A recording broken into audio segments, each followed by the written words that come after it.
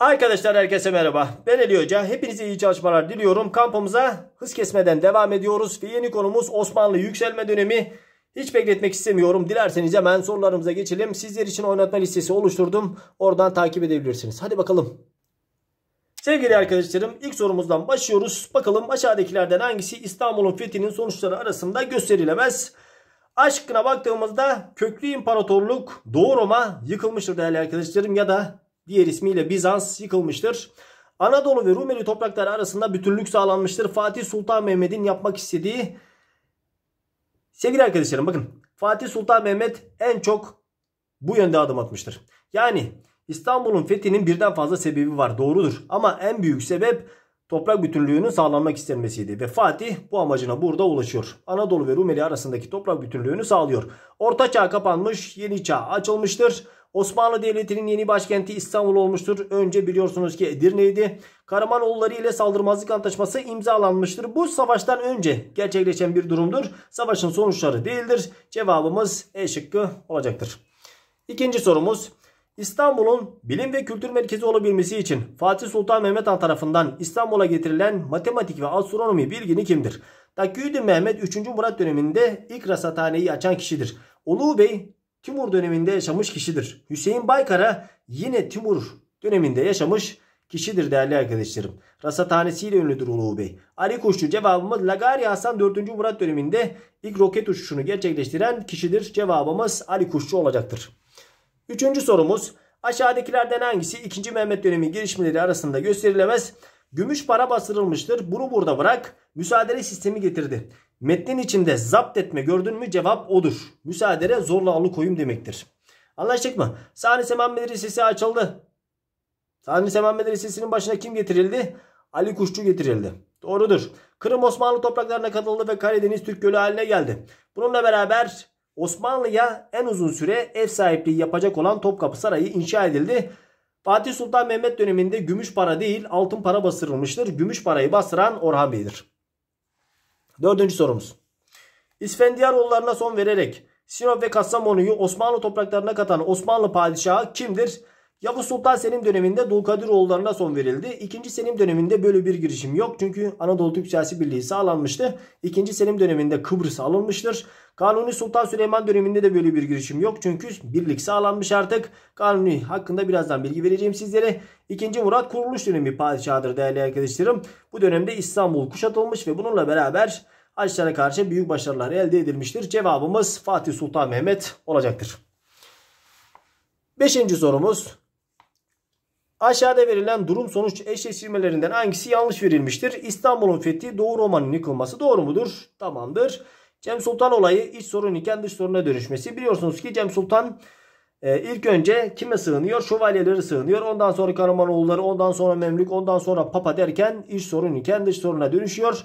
Mercidabık Savaşı ile Memlüklerin yıkılması hayır değerli arkadaşlar bunu burada bırak. Çaldıran Savaşı ile doğudan gelen Şii tehlikesi önleniyor Yavuz Sultan Selim. Turnadağ Savaşı ile Dulkadiroğullarına son verildi ve Anadolu Türk Siyasi Birliği kesin olarak sağlandı. Sevgili arkadaşlarım Mercidabık Savaşı ile değil Ridaniye Savaşı ile Memlükler yıkılmıştır. Altıncı sorumuz.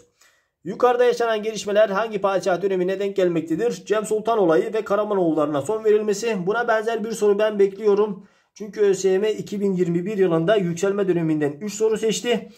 Ve bunlar Fatih Sultan Mehmet, Yavuz Sultan Selim ve Kanuni Sultan Süleyman dönemiydi. Buradaki cevabımız 2. Beyazıt olacaktır. 2. Mehmet döneminde biliyorsunuz ki Karamanoğullarından Konya ve Karaman alındı. İsfendiyaroğullarına son verildi. Arnavutluk alındı. Bosna alındı. Yani Borsa Hersek alındı. Sırbistan alındı. Belgrad kuşatıldı ama alınamadı.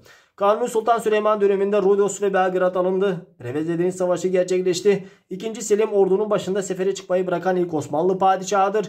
Birinci Mahmut 18. yüzyıl padişahıdır. Ondan bahsederiz. Cevabımız 2. Beyazıt. Sofu olarak bilinir değil mi? Yedinci sorumuz acizi, meftuni ve muhibbi olarak bilinen Osmanlı padişahı aşağıdakilerden hangisidir?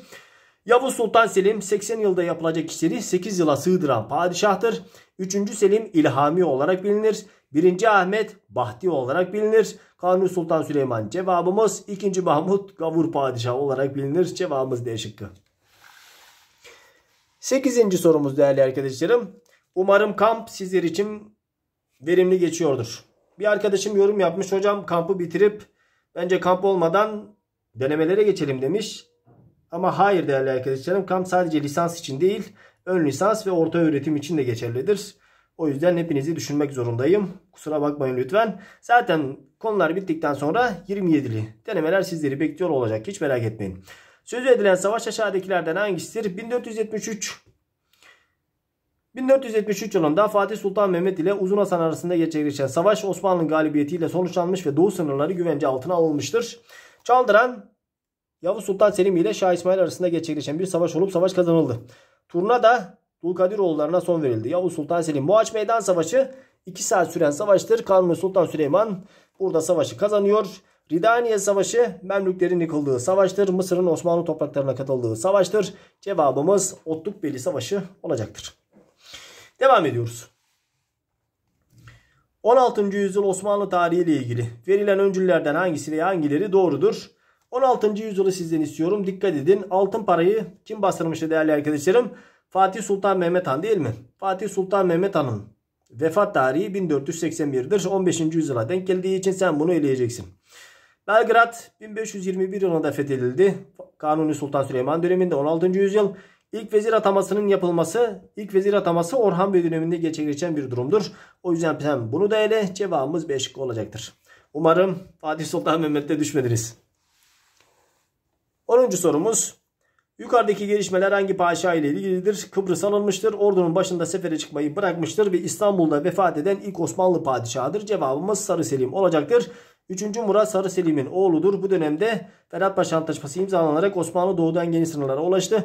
1. Süleyman döneminde Malta ve Viyana kuşatıldı ancak alınamadı. 2. Mehmet yani Fatih'in alamadığı iki yer Rodos ve Belgrad'dır. 3. Mehmet döneminde sancak sistemi kaldırılmıştır. 3. Mehmet Eğri Fatih olarak bilinir. Cevabımız 2. Selim olacaktır.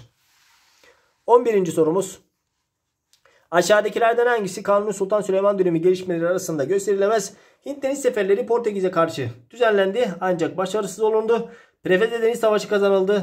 Donanma günü olarak kutlanır. Barbaros Hayrettin. Trablus 1551 yılında Osmanlı topraklarına katıldı. Son seferi Otranto Kalesi üzerine olmuştur. Yanlış bilgi. Fransa'ya kapitülasyon verildi. Amaç neydi? Haçlı Birliği'nin önüne geçmek ve ticareti canlandırmaktı. Ee, Kanuni Sultan Süleyman'ın son seferi Ziget vardır değerli arkadaşlarım. Kanuni Sultan Süleyman'ın son seferi Ziget var. Fatih'in son seferi Otranto'dur. Dikkat ediyoruz. 12. sorumuz. Aşağıdakilerden hangisi bu dönemde yaşanan gelişmeler arasında gösterilemez? Köke dikkat ediyoruz. 1. Selim 80 yılda yapılacak işleri 8 yıla sığdıran padişah olarak bilinir. Bakalım Çaldıran Savaşı tamam. Şii tehlikesi önlendi. Memlüklere son verdi. Tamam. Mısır Osmanlı topraklarına katıldığı Ridaniye Savaşı'ndan sonra Ramazanoğulları Osmanlı'ya bağlandı. Doğrudur. Şarkulu isyanı 2. Beyazıt döneminde çıkan bir isyandır değerli arkadaşlarım. Antalya ve çevresinde çıkmıştır. Cevabımız E şıkkı. 13. sorumuz. Kuruluş döneminde bunun hakkında size bilgi vermiştim. Sapienza Deniz Savaşı hangi padişah döneminde yaşanmıştır? Biraz uç bir bilgi. Ee, bu savaş 2. Beyazıt döneminde gerçekleşen bir savaştır ve savaşı 2. Beyazıt kazanmıştır. 2. Selim, Sarı Selim bu dönemde Sokullu Mehmet Paşa ülkeyi idare etmiştir. Fatih Sultan Mehmet Han ilk altın para basırıldı. Müsaade sistemi getirildi. iltizam sistemi getirildi. Yavuz Sultan Selim Mekke ve Medine'nin hizmetkarı olarak bilinir. Osmanlı tarihinin ilk halifesidir. Kanuni Sultan Süleyman Osmanlı tahtında en uzun süre oturan padişahtır. Biz onu Hürrem'in bir tanecik aşkı olarak biliriz değil mi? 14. sorumuz. Kıbrıs alındıktan sonra Osmanlı donanması ilk defa nerede nerede nerede yakılmıştır? Sevgili arkadaşlarım bakın sıralama şu şekilde 1 2 3 ve 4. Anlaştık mı? Bu sıralamayı unutmayın. Kırım'da Osmanlı donanması yakılmamıştır. Küçük Anarca Antlaşması ile Kırım bağımsız olmuştur. Cevabımız yine baktı. Anlaştık mı? 1, 2, 3, 4. Kıbrıs alındıktan sonra. 15. soru sizde değerli arkadaşlarım. 15. soruyu ben sizlere bırakıyorum. Aşağıdakilerden hangisi Hint deniz seferlerine katılmamıştır? Kanuni Sultan Süleyman dönemi, Piri Reis, İdi Ali Reis, Hadım Süleyman, Murat Reis ve Piyale Paşa. Hadi bakalım sizden cevabı bekliyorum. Beğenip paylaşmayı unutmuyoruz. Bir sonraki paylaşımda görüşmek dileğiyle. Umarım işinize yarıyordur. Sonraki paylaşımımızda duraklama dönemi ondan sonra gerileme dönemi gelecek. Yavaş yavaş kültür uygarlık ve inkılaba doğru ilerliyoruz. Kendinize çok ama çok iyi bakın. Bilgiyle kalın, tarihiyle kalın, kültürle kalın. Hoşçakalın.